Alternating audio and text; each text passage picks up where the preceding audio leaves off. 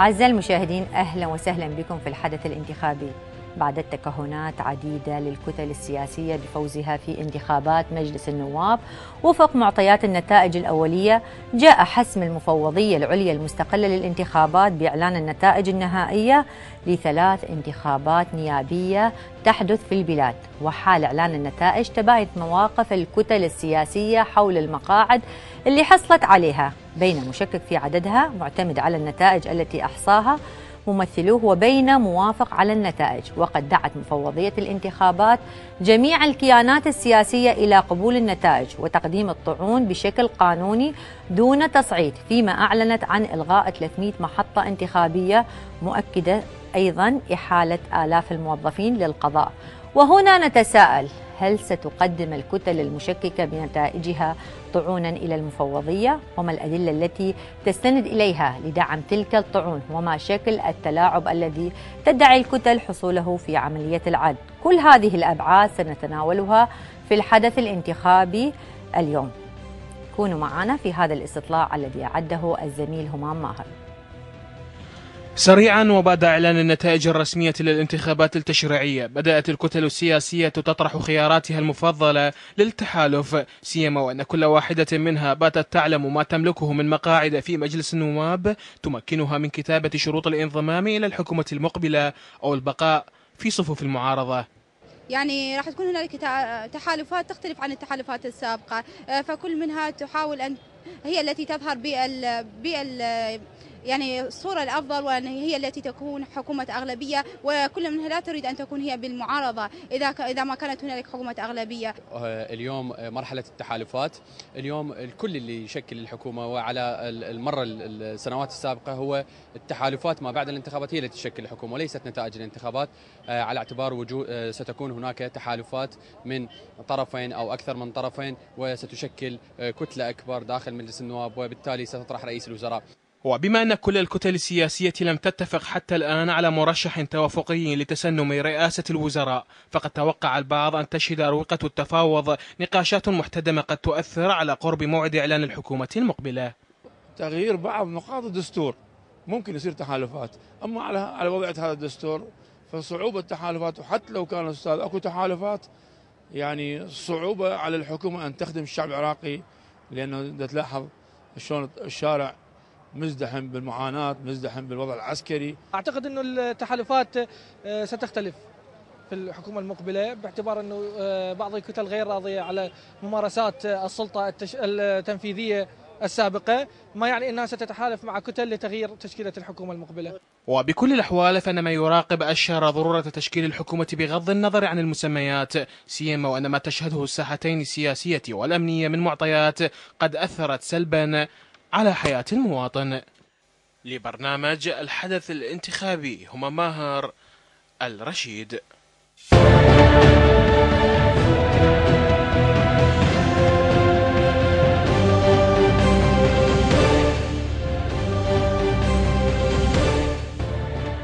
نرحب بضيوفنا في البرنامج كل من النائب الدكتور صالح الحسناوي عن ائتلاف دولة القانون وبليغ أبو كلل الناطق الرسمي باسم كتلة المواطن.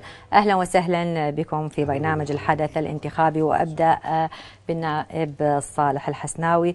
نشهد هذا اليوم عدم رضا معظم الكتل على نتائج الانتخابات. ألا تعتقد أن الشكاوي هذه المرة أكثر من كل مرة في الانتخابات السابقة؟ بسم الله الرحمن الرحيم.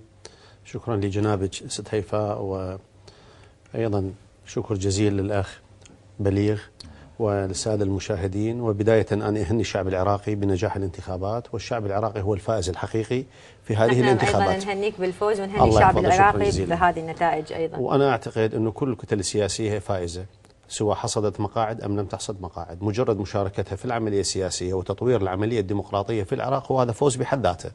وخاصة نحن في بداية عملية ديمقراطية لم يمضي عليها سوى عدة سنوات. ثقافة تقبل فوز الآخرين ما أريد أقول ثقافة تقبل الخسارة ثقافة تقبل فوز الآخرين تترسخ مع العملية الديمقراطية. وبمرور الزمن تترسخ ونشاهد في الديمقراطيات الراسخة من يهنئ هو الخاسر.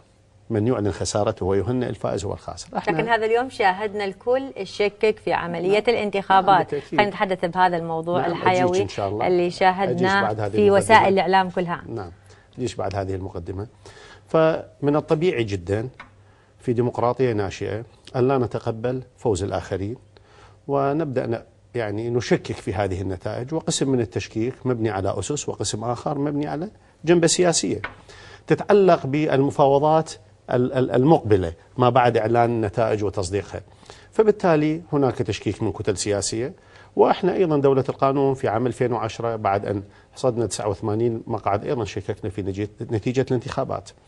لكن الطريق اللي سلكناه هو الطريق القانوني.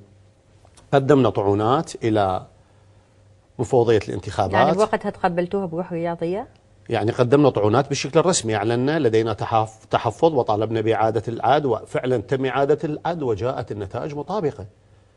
وعندما جاءت النتائج مطابقة تقبلنا هذا الموضوع وانتهت القضية.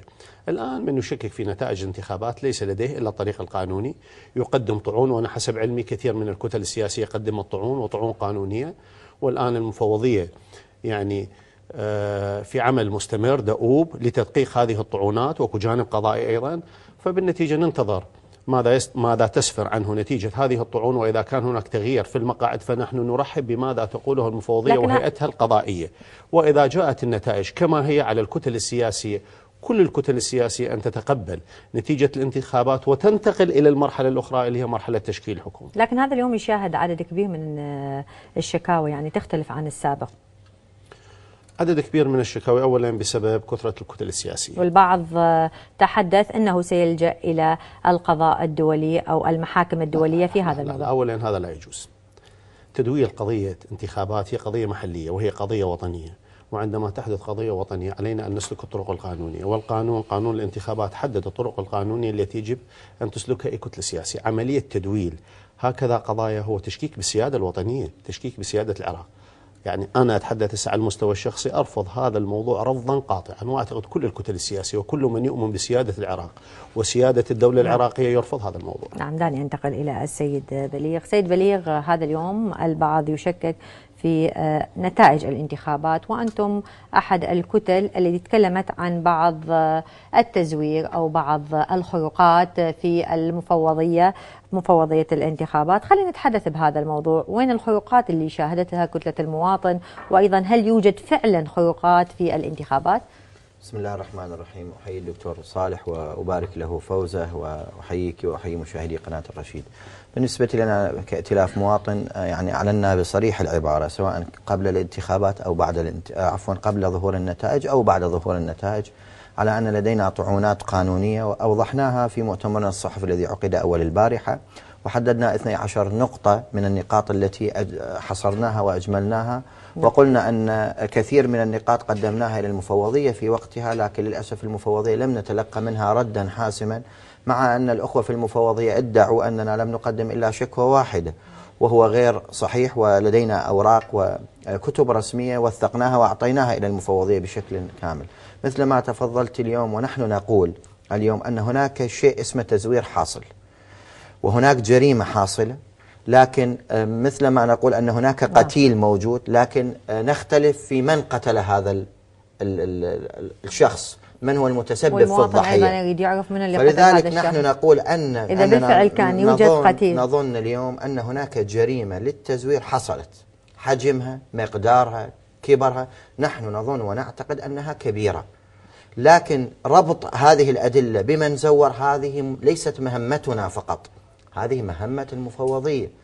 ولدينا أدلة كثيرة على هذا الموضوع. وبعض ال- الإمارات والأدلة لا يجب أن تؤخذ على فرديتها. بمعنى عندما أجد أوراق مرمية لائتلاف المواطن خارج صناديق الاقتراع وآتي لأتحدث وأقول أنني ألغي أم، محطة من المحطات. القضية لا- ليست متعلقة بالمحطة. لكن أريد أعرف مدى التضرر اللي صاير عندكم من خلال هذه الآن النتائج؟ الآن صار القضية ليست متعلقة بمحطة إنما نقول هذا منهج. هناك شيء ممنهج متى وجدنا في كل انتخاباتنا والدكتور صالح أكثر مني خبرة متى وجدنا أوراق لكيان سياسي مرمية في الشوارع؟ أوراق انتخابية صحيحة.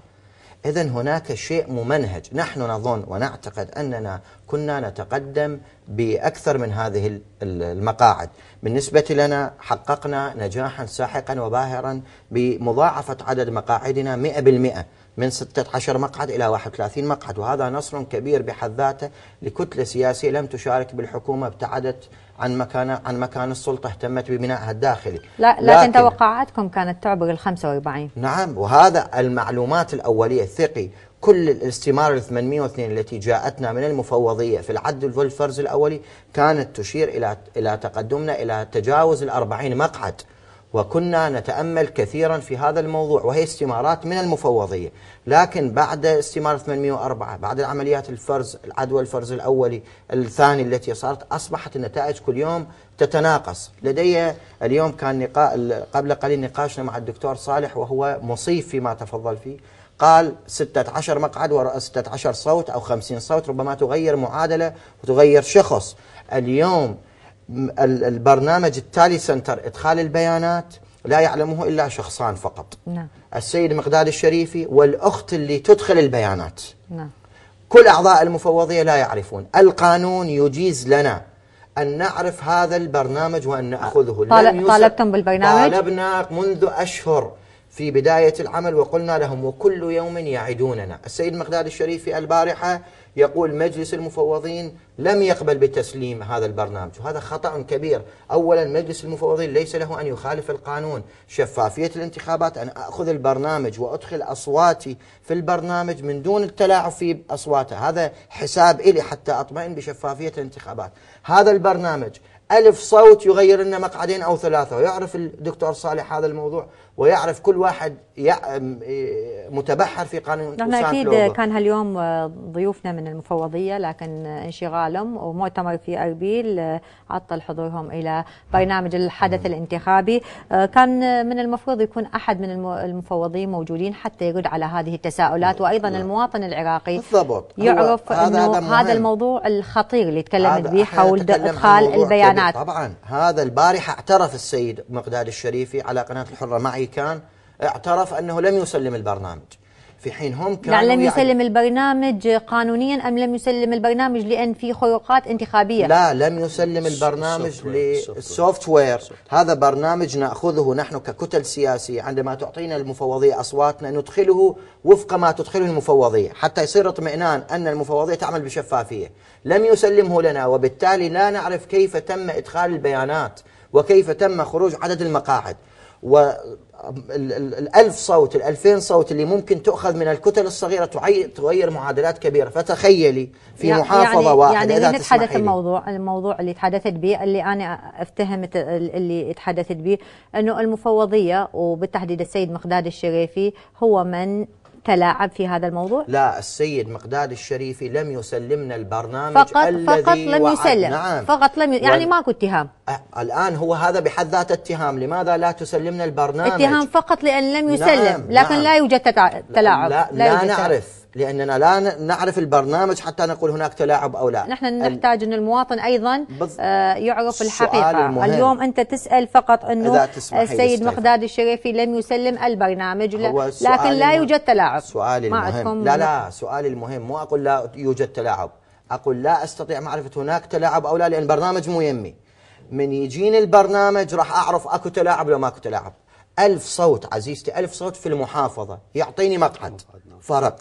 فتصوري في 11 محافظة. إذا أتلاعب بكل محافظة بألف صوت فقدنا مقعدا فصار 11 مقعد. في بغداد نعم. عشرة آلاف صوت يخليه ينطيني أو عشرين ألف صوت ينطيني 11 مقعد. فمعناها تستطيع كتلة سياسية محددة بتلاعب بعشرين ألف صوت أن تكسب عشرين مقعد.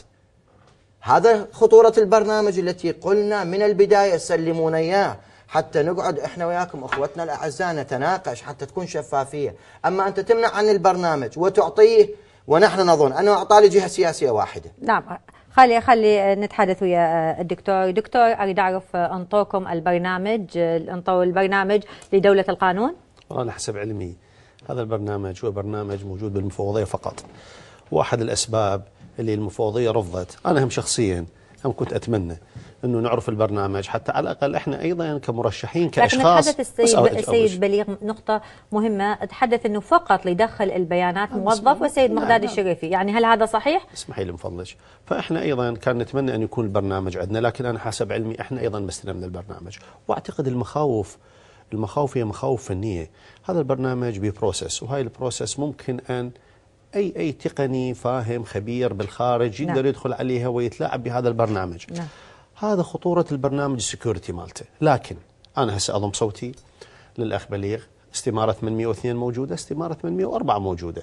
إذا أكو فرق عن النتائج التي أعلنت هذا واضح القانون يجيز لك إنه تعترض وتعطي تقول المحطة الفلانية المرقمة هالقد استمارة 802 عندي بيها 100 طلعت باستمارة 804 90 عندي 10 أصوات. وأعتقد هذه القضية هي قضية طعونات ومن حق اي كتله سياسيه أن تقدم الطعونات الآن والمفوضية تعتمد استماره 802 و804 كأساس قبل ما تعتمد الإدخال الإلكتروني.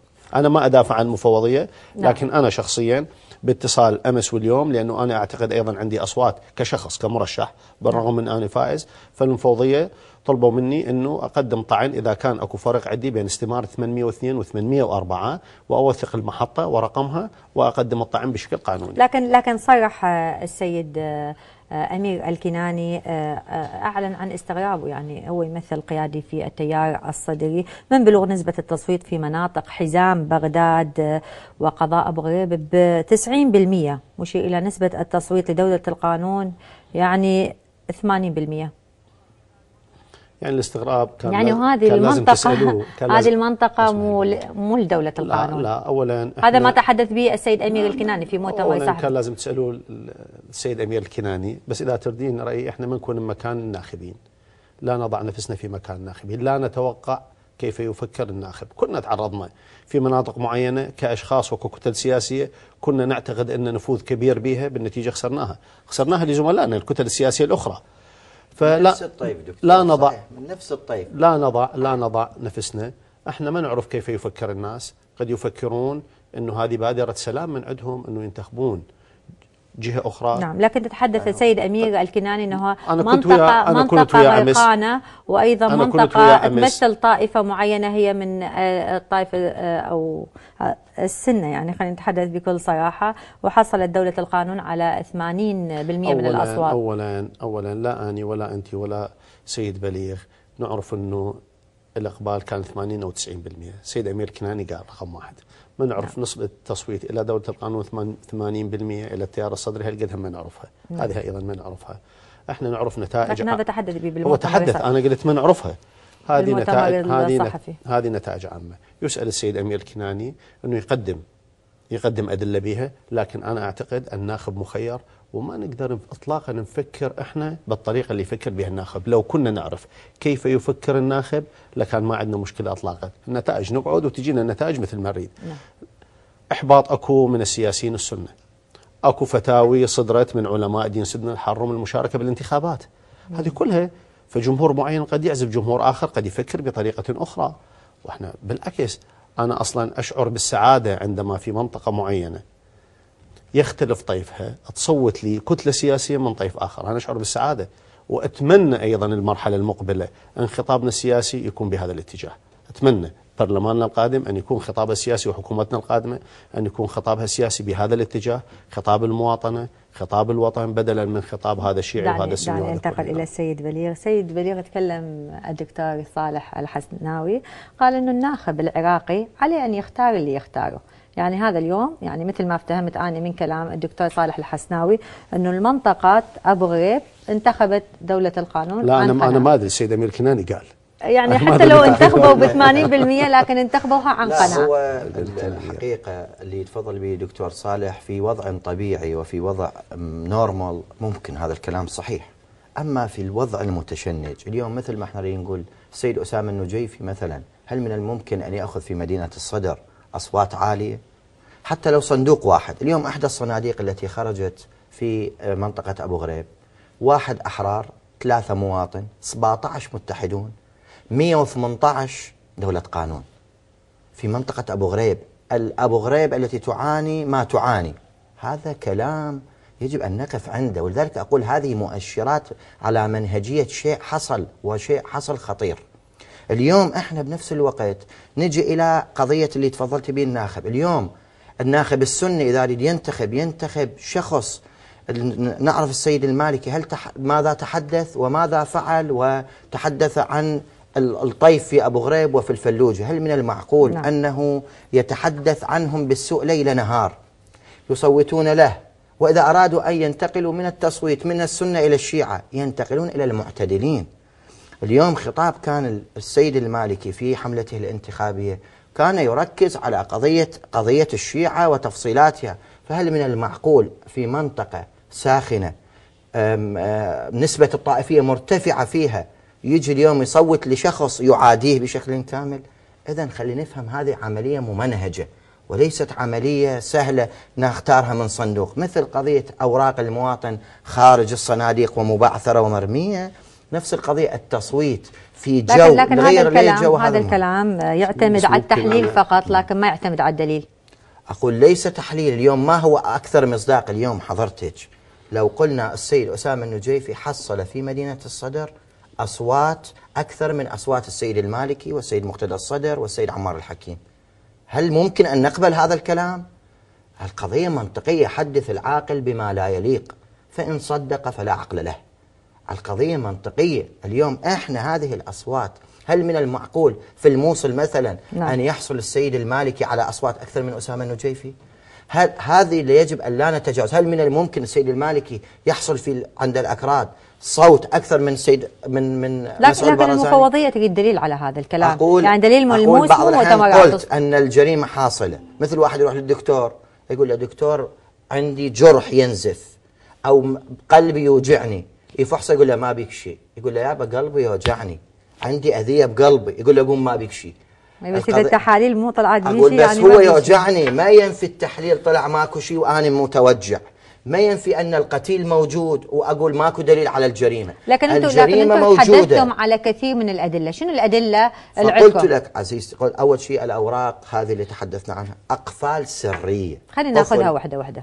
أول شيء الأوراق المرمية الصحيحة المصوت عليها والتي أعطينا نماذج منها للمفوضيه واعترفت بصحتها واعترف السيد المقداد الشريفي بأنه ألغى محطة من المحطات. وقلنا هذا ليس موضوع محطه هذا موضوع يجب هذا اللي عثرنا عليه اللي ما عثرنا عليه قد هاي نقطة. أقفال سرية مكسورة في محطات العد والفرز الأولي. ومكسورة في محطات العد والفرز الثانوي نعم. وأقفال برتقال هذا خطر كبير. هناك وجدناها. سيدي عندنا موجود. نعم. قلنا دقيقتين أكداس من الظروف الآمنة والاستمارات والأقفال السرية. كدس. هذا ما وجدناه. رحنا سألنا الأخوة الأعزاء في مركز الشرطة في مركز العدوى والفرز نعم. خلي انتقل بالإتصال إلى آه، السيد صفاء الموسوي. أهلا وسهلا بك سيد صفاء آه، في برنامج الحدث الانتخابي. أهلا وسهلا بك حياكم الله وحيا الله ضيوفكم أتمنى أنه تكون متابعنا فيما قاله آه، السيد بليغ أبو كلال في وملاحظاته حول النتائج الانتخابات.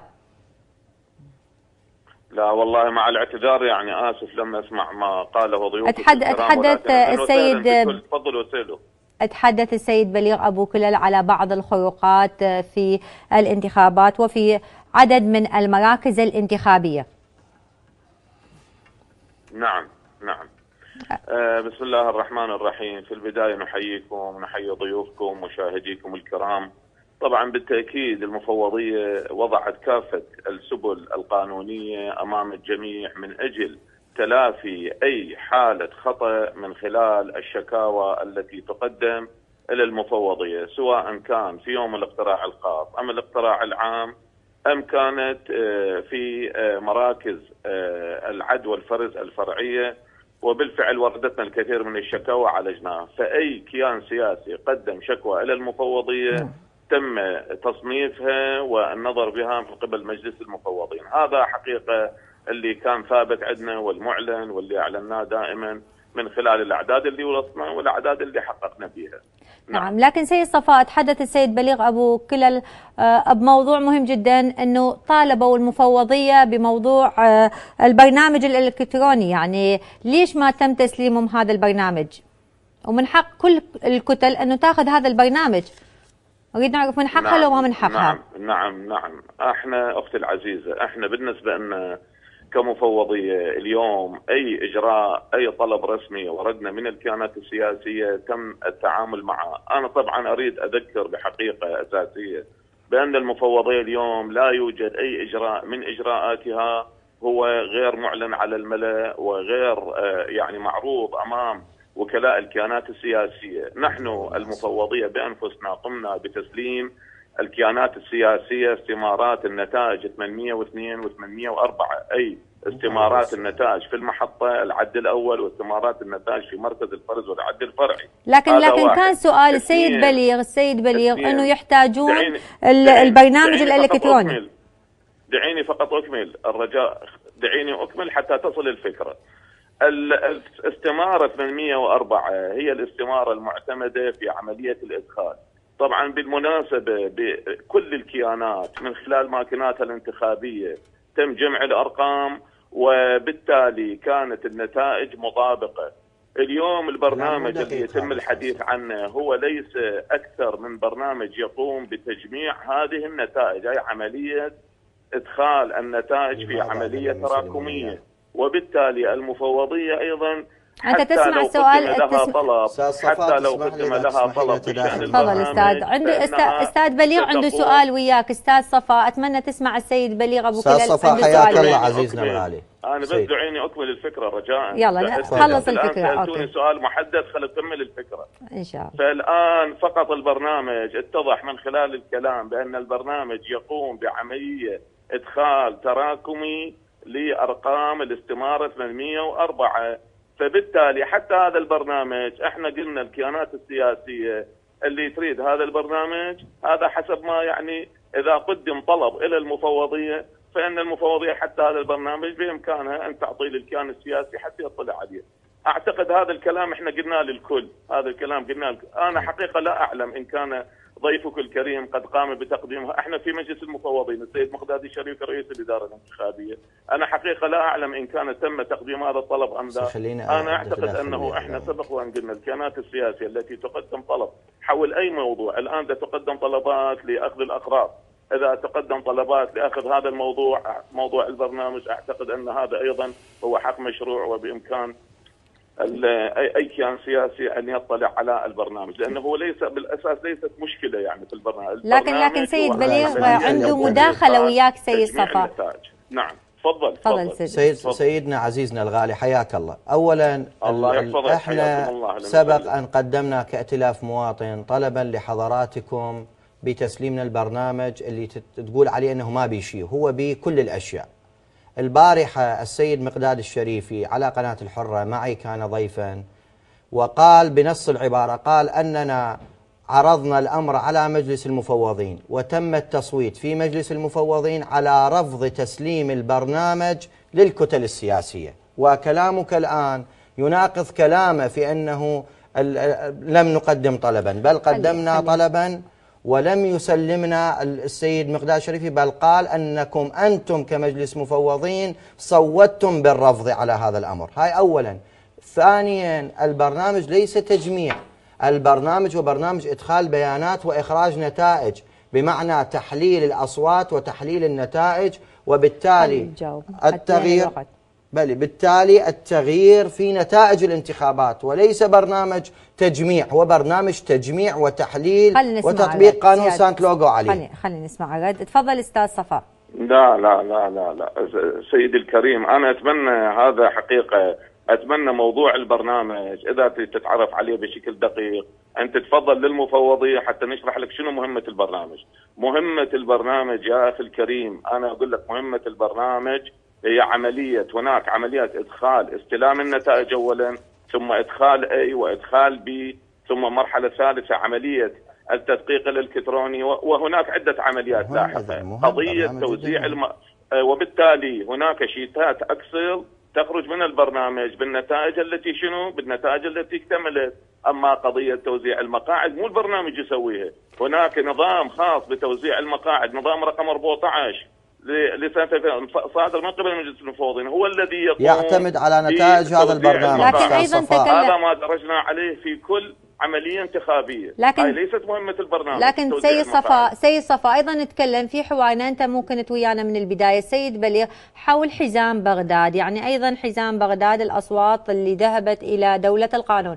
لا لا دقيقة. أنا أرجو أن تكون الآن الصورة تتضح. مهمة البرنامج شنو؟ لا، مهمة الصورة- البرنامج الصورة يقوم بتجميع ال. ال ال النتائج. لا، لكن- أما توزيع لكن- المقاعد هاي من مهمة. لكن- نظام توزيع المقاعد. سي... سيد صفاء جاوبنا على هذا السؤال آه، تساؤلات من السيد بليغ حول حزام بغداد الأصوات التي ذهبت إلى دولة القانون نسبتها 80% يعني أختي العزيزة قضية حزام بغداد أنا حقيقة ما أدري إن كانت مدى دقة هذه المعلومات يعني صو- فلان صوت. لمن وفلان صوت لمن. هذه المسألة كما تعلمون أن الموضوع الاختراع هي سرية الاختراع أنا بالحقيقة ما ما ما يعني آه، آه، ما أعرف أنه شلون ال- ال- ال- يعني من يعترض. أنا مع احتراماتي لكل الآراء. كيف نستدل على أن 80% قد صوتت للجهة الفلانية؟ مثلا قسم من الناس اللي يعترضون في مدينة الموصل يقولون أن التصويت ذهب باتجاه ال- الكتلة الفلانية. كل جهة تؤشر على جهة أخرى. إحنا يجب أن نتذكر بأنه الاقتراع هناك سرية الاقتراع لا ندري من آه، من صوت لمن. لكن هذا موضوع لكن الموضوع خلي خلي الثاني نتحدث قضية- الموضوع. سؤال آخر سياده س- سيد صفا حتى نستغل الوقت. يعني آه، أيضا نتحدث عن تطابق استمارة آه، 802 و804 بموضوع النتائج الانتخابات. هناك اختلاف بينهم. يعني يتحدث إنه اختلاف كبير بينهم. لا لا أهلا وسهلا. إحنا أنا ذكرت إحنا من خلال الشكاوى التي تقدم إحنا مثلا هؤلاء هم موظفون ربما قد يخطأ في الجمع قد لكنه إحنا من خلال متابعتنا إذا كان موجود هكذا خطأ وهذا الخطأ تم تداركه هذا على فرض وجوده. إحنا اليوم إذا تكلمنا عن 56 ألف محطة فإذا حصلت أخطاء في أعداد من المحطات بنسب مئوية معقولة يعني إحنا اليوم المفوضية نسبة الخطأ المتوقعة والمقبولة هي نسبة الأربعة بالمئة طبعا هي بالمناسبة ما وصلت للأربعة بالمئة يعني من لكن أنتم لكن أنتم 56 ألغيتم ألف 300 محطة. لو كانت سيادة- هناك نسبة خطأ سيد في صفاء محطة أنتم. ألغيتم 300 محطة. هاي نسبة كبيرة لو دقيقة قليلة. أختي العزيزة هذا مو هذا غير موضوع وهذا غير موضوع. إحنا كل موضوع هو حقيقة له حالته.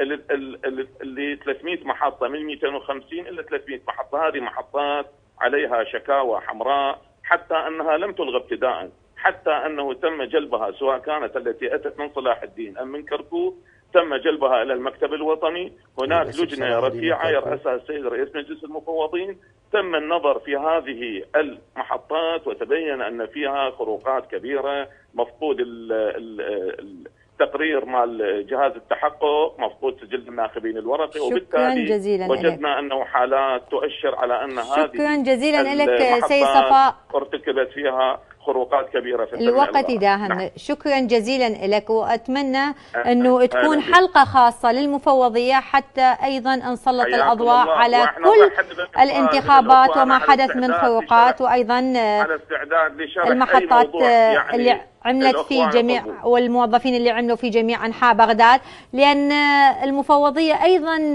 أحالت آلاف الموظفين يمكن للقضاء نعم إحنا أختي العزيزة إحنا على استعداد الأخوة الأعزاء أو أي سؤال يردكم أن نجيب بكل شفافية على كل سؤال بس نعطيكم. التفاصيل الكاملة وهذا هو واجبنا. نعم.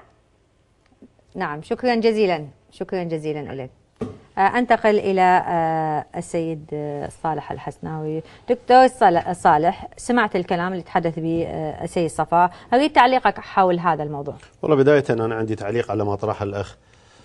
سيد بليغ. أولا يعني جمع بين سلوك السيد المالكي اتجاه القاعدة وداعش وعمم على السنة في العراق. وهذه قضية طبعا غير مقبولة. السنة م- شعب عراقي ناس يعني قاعدين ببيوتهم مسالمين. مو معناتها أنه أكو حرب ضد القاعدة تقودها الدولة العراقية. صح سيد رئيس الوزراء هو القائد العام للقوات المسلحة والرئيس التنفيذي لكن تقودها الدولة العراقية. والجيش مكون من كل الطوائف والقرارات السياسية اللي تتعلق بحرب القاعدة. هي ليست عراقية قرارات عالمية. هذا ما يعني أنه تقود حرب ضد القاعدة وداعش تستهدف السنة. وهذا ما يعني إنه السنة كلهم راح يأخذون موقف سلبي تجاهك وتصير عدوهم لأنه القاعدة وداعش قاعدين في مناطقهم. يعني أت... كنت أتمنى أن يكون الحديث بغير هذه الطريقة يعني. هذا لكن واحد. لكن هو هذا واحد. تحدث سيد بليغ حول إنه عقلية الناخب العراقي بعدها عقلية قومية عرقية طائفية يعني في بعض المناطق. هذا ما نعم، أنا نعم، اتهمته نعم، وافتهم لا المشاهد. تعمم هذه ال- الظواهر. أنا كل اللي أقول يصبح هناك غيظ في قلوبهم وسيصوتوا بال بال بالجهة المقابلة أنا يعني. أنا أنا اللي اقوله أنا اللي أقوله. لا نعمم ظواهر. الحرب لا، على القاعدة بال- لا تعمم لا لا على السنة. تعمم. أقول. لنفترض هناك مناطق سنية تضرب. ايا كان لداعش وهناك أبرياء يسقطون وداعش تقتل وكلنا ضد داعش. لكن هذا لا يولد معناها سيدفع الأهالي في تلك المنطقة وهم يضربون بأي سبب كان. إلى التصويت للسيد المالكي لا هذا السؤال, منطقي؟ السؤال السؤال اللي بل. أقدر يعني اللي أجاوبك عليه إنه كثير من أهالي هذه المناطق يقاتلون داعش والقاعده كلام دقيق لي- ليس هناك خلي اختلاف خلي فضلك خلي كمل مع الفكرة الدولة- مال الدكتور. مع الدولة يقاتلون أيضا. ضمن الصحوات ارتباطهم أصبح ارتباط بالدولة. همهم الوطني همهم الوطني هو الخلاص من داعش والقاعدة وارتباطهم بالدولة. هذه أجواء جديدة قد تكون ما كانت ما متوفرة مختلف يعني. وعي عند آه. الناخب وعي عند ما الناخب بالتالي- يذهب الناخب في حزام بغداد وينتخب دولة القانون اللي قضت على فبالتالي قد داعش. يكون هذا جانب. الجانب الثاني الحقيقة أنا أعتقد يعني أنه كتلة المواطن كان لديها أماكن انتخابية فعالة. وعندهم أعتقد عشرات الآلاف من المراقبين. 35 ألف مراقب. 35 ألف مراقب. وإحنا كنا شاهدنا يعني خلال ساعات من الانتخابات آه، السيد عمار الحكيم في مؤتمر صحفي وأعلن فوز آه، كتلة المواطن وكانت مبكرة جدا بالنسبة للكل. يعني إحنا ما كنا ماخذين أي نتيجة يعني حتى كمرشحين كانت مبكرة نعم. للكل. نعتقد هذا الوضع اللي اللي صار به المجلس الأعلى وكتلة المواطن هذا الخطاب اللي صدر في وقت مبكر خلاهم تحت ضغط نفسي تحت ضغط نفسي. فبالتالي صارت حساسية مفرطة من نتائج الانتخابات. أنا ما أقول الطعون خطأ هذا جانب آخر. أنا دا أفسر ظاهرة نعم. خلاهم تحت ضغط نفسي. وهذا الضغط النفسي أصبح شديد عليهم مع ظهور نتائج الانتخابات. طبعا إحنا كنا نتوقع الجمهور ال... أنت تقصد في هذا الضغط النفسي إيه من الضغط النفسي؟ كتلة المواطن جمهور كتلة المواطن؟ نعم اللي سلط على كتلة المواطن ككتلة سياسية فبالنتيجة بالنتيجة بمرور الوقت واتضاح نتائج الانتخابات هذا الضغط اللي موجود على كتلة المواطن نتيجة هذا المؤتمر المبكر اللي صار جعل كتلة المواطن تتحسس من نتائج الانتخابات طبعا بالتأكيد هناك أخطاء هؤلاء موظفين قسم منهم ما متدربين زين قسم منهم قرايبهم بالانتخابات قسم منهم أحزابهم بالانتخابات قسم منهم 80% صوتوا لدولة القانون. قسم منهم لا سامح الله لا سامح الله. قد يكونوا قسم منهم والدليل إنه حالوا 3000 واحد إلى القضاء وأتمنى هذه اللي حالها القضاء تعلن نتائجها. هذا هذه جريمته هذا هذه جريمته. إحنا نريد نشذب ونهذب العملية الديمقراطية. نعم. ثلاث ثلاث انتخابات ترى في عمر ديمقراطية فد عملية مبكرة جدا. إحنا لا نزال في مرحلة يعني في مرحلة الرضاعة بعدنا ما وصل مرحلة الفطام. أنا اللي أريد أقوله خلي تكون طعوناتنا طعونات قانونية، نعم أنا عندي استمارة 802 وعندي استمارة 804 إذا ما لقيت الاستباره مالتي مال المحطة الفلانية ما موجودة ب 804 لكن لو لكن لو إنه مو مراكز المفوضية. ما تطابقت ببعض المراكز. يعني الاستمارة 402 و هنا 402 هنا. هنا هنا مدخل الطعون. هنا مدخل الطعون أنا باعتقادي إذا 802 موجودة بها 802 طبعا صادرة من المفوضية. نعم. مو مراقبي الكيان. و804 صادرة من المفوضية. يجب أن تتطابق. إذا ما طبقت هذا حق لكل كيان سياسي ولكل مرشح سيعتمدون ان يطعن 804 دكتور. هي هاي المشكلة. خلي لا، انتقل. خلي أنتقل على ت... أبداً. على أنا أنا شخصيا بس تسمحي لي لحظة. إذا تسمحين وإذا ما تسمحين كيفك؟ أنا أمس باتصال على قضية تخصني أنا كشخص. النصيحة اللي من المفوضية 802 804 إيش قد اكو فروقات بين الاستمارتين؟ هذه حقك راح يكون بها. خلي فنوع نسمع. رأي السيد بليغ. اولا اولا ال- سيد بليغ نعم. أريد أعرف عندكم اختلاف بين هاي الاستمارتين؟ اولا ال- ال- الف- الفضل به السيد صالح الدكتور صالح ال- الكلام دقيق. إحنا نقول أنه قضية ال- الحرب هذه قضية منتهية لكن أن يتولد جو لصالح من يشن الحرب هذا هو اللي نختلف عنه وه- وهاي قضية وجدانية ليست قضية عندكم- هذه عندكم اختلاف؟ هذه نقطة النقطة الأخرى بالنسبة عندكم لما دليل تف- الان جاي آه، ست هيفاء إذا سمحتي لي. القضية الأخرى الإعلان الم- المبكر للأسف دكتور أنتم تفسروه بغير ما يعلن. اولا قلنا نحن الفائز الأول ولم نقل نحن الكتلة الأكبر، هناك فرق كبير. الفائز الأول نحن الكتلة الكبيرة الوحيدة التي ضاعفت عدد مقاعدها 100%. فقال سماحة السيد وتعبير دقيق، قال نحن الفائز الأول في الانتخابات. وهذا كلام دقيق. ولم نقل نحن الكتلة الأكبر بس في في كل استطلاعاتنا. إحنا ناس واقعيين. في كل استطلاعاتنا كنا نقول وأنا أتحدث شخصيا كنا نقول أن دولة القانون ستتقدم علينا في الانتخابات. لم نكن نقول غير هذا. شنو الأسباب؟ شنو الأسباب عندنا عندنا استطاعاتنا الرأي. لكن استطلاعات أن المواطن نعم. العراقي يعني نعم ما ذهب إلى نعم دولة سي- القانون بقناعة؟ لا بس سيذهب إلى دولة القانون ليس, ليس بهذا الفارق الكبير. كل الاستطلاعات نحن طرقنا يا سيدتي العزيزة 500 ألف باب في عموم العراق. مليونين و500 ألف ناخب نحن طارقون لأبوابهم. أكثر من 100 ألف اتصال سوينا. هذا كله تجينا است- استطلاعات دولية تجينا. كلها مؤشرات تقول خلاف ما حصل. فلذلك ما قلنا في يوم من الأيام أنه إحنا حتى نجي نعترض. لكن- نقول نعم تتقدم لكن هذا اليوم تقدمت أيضا تت- دولة القانون تتقدم دولة كانت صحيحة. لا تتقدم ليس بهذا الفارق. هناك فارق بسيط. 10 15 مقعد هذا الفارق بيننا. كل استطلاعات الرأي كل ما لدينا. لكن مع ذلك نحن الآن في المعادلة لسنا ضعاف ولا نتشكى.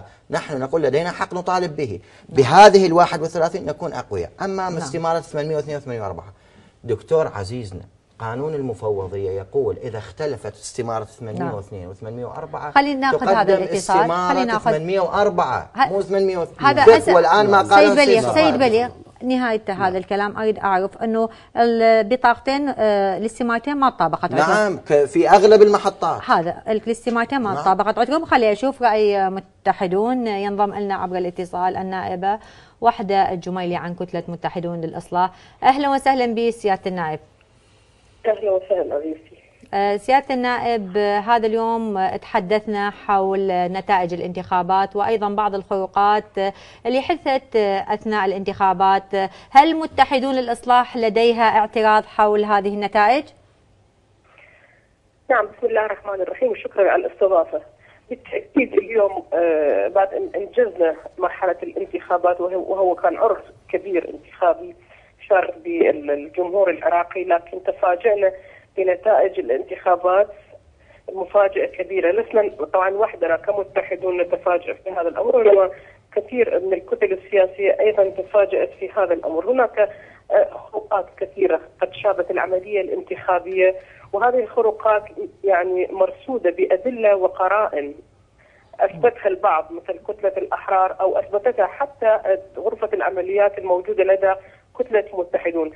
أثبتنا هناك خروقات وقرائن بدليل إنه هناك بعض المحطات قد تم تزوير أو تزوير بعض النتائج لبعض المرشحين أو إضافة أصوات لمرشحين أو لكتلة معينة أو حذف أصوات من كتلة وتعطى لكتلة أخرى.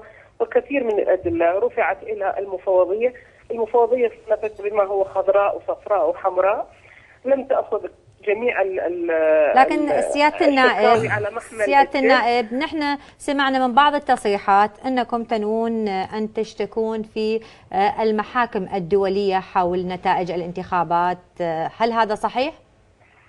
أختي الغريب بالامر يعني لو نرجع بالذاكرة قبل أربع سنوات بال 2010 إذا تتذكرون عندما كانت ال- الع- العراقية آه، هي الفائزة الأولى وخرجت ب 91 مقعد كان بوقتها رئيس الوزراء السيد المالكي قد اعترض على الأمر وطلب إعادة إعادة العدو الفرز يدويا وتمت تم له الإجراء طبعا من قبل المفوضية وتمت إعادة العدو الفرز. اليوم كل الكتل السياسية تطالب بإعادة عملية الانتخابات مثلا كتلة الائتلاف الوطنية. إحنا ما نقول نريد نعيد الانتخابات. على اعتبار إنه الانتخابات قد صرف لها مطالب طائلة. ولا توجد ضمن إمكانيات الدولة إعادة الانتخابات لكن لدينا تحفظات كثيرة على هذه الانتخابات لكن نطالب بإعادة العدو الفرز في بعض المراكز الانتخابية في بعض مناطق حزام بغداد بغداد التي شافها كثير من لكن ال- لكن الأزمات سيادة الفيضان النائب- والتأثير النائب- والاعتقالات. سيادة النائب مثلما تطعنون بنتائج القو... القوائم الأخرى هناك من يطعن بنتائجكم. في نينوى مثل الحزب الديمقراطي الكردستاني اللي آه، تحدث آه، أنه عنده أدلة آه، يقدر أنه يثبتها هو الأول في نينوى. هو هو شوفي هو الأمر يتحمل وجهين، الأمر هذا يتحمل وجهين، هناك مناكفات سياسية، هناك من يعترض على دولة القانون في نتائجها بالانتخابات وبالتالي يطعن سواء كان صادق بالطعن أو غير صادق، وهناك من يطعن بنتائج كتلة متحد والمتحدون يطعنون بنتائجها في نينوى لأن هي الأولى بنينوى. فمقابلها هو أو الجهة المقارنة لها هي آه، التحالف الكردستاني تأكيد تبعا ولو كان التحالف الكردستاني هم جايب أصوات أكثر من المتحدون كان المتحدون طعنت. لكن هذه الأمور ما تقدر تعتمد عليها المفوضية. المفوضية تعتمد على ما هو موجود بأدلة وبوقائع وبقرائن موجودة. لكن أعرف على والنا... والناس تعرف. سيادة النائب عندكم أدلة على الخروقات يعني عندكم أدلة؟ اليوم تكلم السيد. بليغ أبو كلل على أدلة لديهم أدلة حول هذا الموضوع. لديكم أدلة أنتم متحدون للإصلاح؟ بالتأكيد كل الكتل السياسية لديها غرفة عمليات تواكب عمل العملية الانتخابية من أليفها إلى يائها بالت- بالتأكيد لدينا قرار ونطيج مثل على أحد الخروقات لدولة القانون اللي رصدناها ببغداد. مثلا مجموع أصوات المرشحين هو 152 جتي بالإستمارة بالسيديات ضايفين ألف مقابل ال 152 صايرة 1152 ومن تجين تجمعين الأصوات 152 هاي في بغداد؟ هاي الخروقات هاي هاي في بغداد. وقدمناها للمفوضية والمفوضية اعترفت بانه هذا أمر خطأ. لكن إحنا نهيب بالمفوضية أن تنحو منحى حيادي في ال- ال- العملية الانتخابية وأن تكون فعلا مستقلة وأن تتعامل بحيادية مع كل الكتل السياسية، نتمنى أن تكون مستقلة. لأن هي صنع البرلمان هذه المفوضية، المفوضيه مجلس المفوضيه هو من اختارهم البرلمان برلمان 2010 نتمنى أن يكونوا حياديين نتمنى- أن يكون على قدر المسؤولية لكن لدينا تحفظات كثيرة على عملهم ويجب عليهم أن يأخذوا جميع الشكاوي على محمل الجدوى أيضا إذا يأخذوا بالشكاوي التي قدمت من كل الكتل السياسية في إعادة العدو الفرد في بعض المراكز في بعض مناطق بغداد أو بقية المحافظات لدينا خروقات كثيرة أيضا في كركوك الجبهة العربية ال- ال- كركوك لديها تحفظات كبيرة جدا في مسألة العدو الفرد يجب إعادة الانتخابات في كركوك لكن لكن. سيادة النائب مسألة أيضا الشيخ مسألة- حميد الهائس حميد مسألة الهائس في الأنبار. يطعن بعمل المفوضية وبالنتائج اللي حصلت عليها متحدون ويقول سيكون لنا رد حاسم أيضا هذا شنو نفسره يعني هذا الحديث من السيد حميد من الهائس منو؟ من يطعن؟ السيد حميد الهائس في الأنبار. خلي يطعن. أختي أي أي شخص هسه اليوم دخل العملية الانتخابية من حقه إنه يطعن. أي مرشح أي كتلة سياسية من حقها إنه تطعن من حقها إنه تقول أكو خروقات لكن أكو أدلة وبراهين. إذا عنده أدلة وبراهين وقرائن ممكن أن يطعن ويخليه على راسنا. بس خل المفروض تتعامل بحيادية مع الكل. مثل ما تتعامل ويا دولة القانون. ب- بمستوى عالي من المسؤولية يجب أن تتعامل مع كل الكتل السياسيه بمستوى عالي من المسؤولية، أنا أقول لك خروقات في كل المحافظات صارت، كل المحافظات صار صار بها خروقات في في محافظة الأنبار تحديدا. الألف صوت آه، هم نفسهم الموظفين. في موظفين المفوضيه الالف صوت قاموا يبيعوه ب 300 ألف دولار. الألف صوت ب 300 ألف دولار. شنو من المفوضيه هاي وشنو من الانتخابات حتى الانتخابات اللي صارت تقليم. كردستان. صارت انتخابات مجال في المحافظات ومجال في النواب بنفس نفس اليوم. شكراً. تاهت عن الناس اسألي. شكراً. اسالي تقليم كردستان. صارت العملية الانتخابية نزيهة وشفافة؟ لا والله. في كل محافظات العراق لم تكن نزيهة وشفافة. شكرا جزيلا لك سيادة النائب. الوقت بغداد. شكرا. جزيلا لك شكرا جزيلا لك أنتقل بسؤالي إلى الدكتور صالح. سمعت تحدثت السيدة نا- النائبة وحدة الجميلي حول بغداد والأرقام اللي أضافت إلى بغداد. يعني والله السيدة وحدة جميلي زميلتنا في البرلمان آه قالت كل المحافظات وكل المراكز كلها بها تلاعب. لكن في بغداد حددت الأرقام يعني هي- عندهم أدلة. هي أسدلت الستار على هاي العملية الانتخابية وبعدين أيضا قالت أنه 300 ألف دولار و1000 صوت. هذه قضية اتهامات خطيرة. هذه ما تنحكي إذا ماكو دليل رسمي. ودليل دليل يعني دليل مادي ملموس. طبعا أيضا لها وجهة نظر وأنا أحترم وجهة نظرها. وقالت إنه نفس نفس التساؤل اللي حضرتك والأستاذ بليغ ذكره إنه جنوب بغداد وجنوب بغداد وسبق ان أشرنا إحنا إلى هذه القضية، يعني راح أعيد نفس الكلام اللي اللي قلته سابقا، أنا أرجع وأقول سلوك الطرق القانونية. أكو طرق قانونية يجب أن نسلكها. بعد أن تنتهي بعد أن تنتهي الفترة القانونية وتصادق آه، نتائج الانتخابات على نعم. كل الكتل السياسية والكل فائزة الحقيقة، كل الكتل السياسية فائزة. دولة القانون آخر استطلاع الان دي اي كان يتوقع له بحدود المية وهذا الكتل السياسية استلمت ال- ال- فقط الادعاء دكتور. لا ما يخالف. أتكلم عنه. آه، المجلس الأعلى باختصار دكتور باختصار حاضر. المجلس الأعلى ضاعفت عدد اصوات التيار الصدري ممتنين ومرتاحين جدا لهذه النتيجة. كانوا يتوقعون أقل من هذه الأصوات. كل الكتل السياسية لكن تقريبا كانوا معترضين أيضا في مؤتمرات أنا المصادر. لا أتحدث عن عن قناعاتهم بإنجازهم. كل الكتل السياسية توفقت وهذه العملية الديمقراطية. نعم نقع في أخطاء عملية تحبو في بدايتها نقع في أخطاء علينا أن نشذب ونهذب هذه العملية الديمقراطية يوم بعد يوم. وإن شاء الله تمر هذه مرحلة وبعد أسبوعين ثلاثة ينتقل خطابنا إلى خطاب وطني لتشكيل حكومة ممكن أن تخدم أبناء الشعب العراقي. يلا شكرا جزيلا.